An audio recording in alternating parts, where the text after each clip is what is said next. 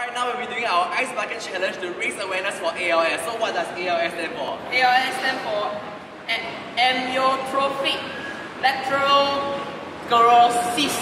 And with that, we're gonna nominate our beloved StageIt and Arts and Cultural Fraternity Management Committee. Alright, for the ice now.